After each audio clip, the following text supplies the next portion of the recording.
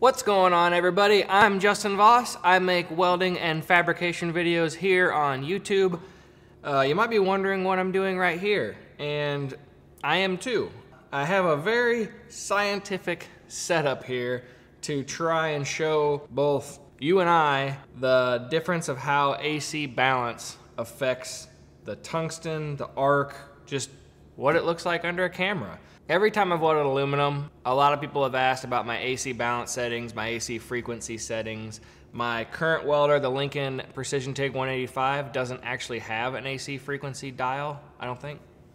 No, it doesn't, but it does have an AC balance. Now these are two things that you kind of run in conjunction with each other if you have the ability on your welder, but since I don't, I'm gonna be going through the entire range on the balance. Now my welder doesn't have a readout but it does max out all the way towards cleaning and towards penetration.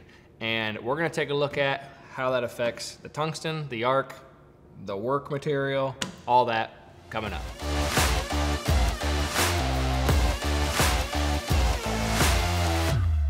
For this test, we're gonna use three 30 second tungsten. This is orange colored, and on the welder here, we're gonna have a, just an even 100 amps the entire time and the dial starting off all the way to penetration. You can see there's no indicators of what percentage we will be at exactly, but I will tell you how far to the right or to the left on the dial I am throughout the test. And you can see if we get all the way to the left here, there is actually an automatic feature on this welder, which we won't turn it that far. We'll stop right before we get there.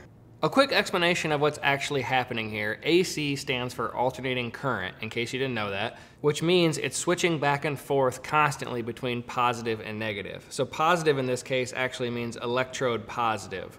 So on a portion of the cycle, the current actually flows from the workpiece to the electrode. This actually blasts off surface oxides off the part, and that's why they call it cleaning. And then on negative, the current flows from the electrode to the work, and that's the penetrating side. So wherever the current's ending up is gonna be hotter. The AC balance adjusts the percentage of time that is spent either on the positive or the negative side. Now we are starting all the way on penetration, as far as my welder will go to the penetration cycle. Right now we're starting off at all the way to penetration, which on this welder we're probably about 70% AC negative and 30% positive on the cycle. That's just an estimate, but it is as far as it can go on my machine. Inverters, I believe, you can take it really close to 100% in both directions.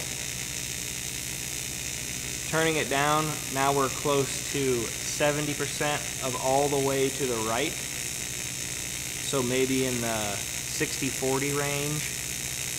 Now we're straight up at 50% balance, 50% positive, 50% negative. Working towards cleaning, now we're probably more like 60% positive and 40% negative, leaning on the cleaning side. And now we're turning all the way to 100% on my dial to cleaning. So we're probably close to 70% AC positive, 30% AC negative. You can see the tungsten starting to ball up. Wow, you can see right there how much full cleaning screwed the tungsten up. If we would have been running higher amps, it probably would have completely balled the end of this 332nd. Okay, there I think was a good visual representation of what the AC balance knob does or adjustment, could be a button on your welder uh, what it does to your weld, to your arc when you're welding aluminum.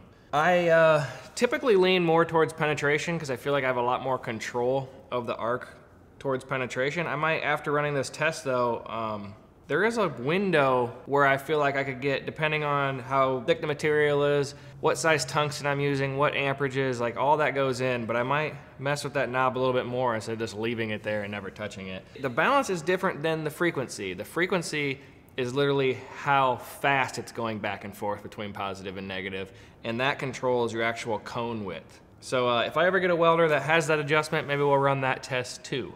But until then, that's it for this video.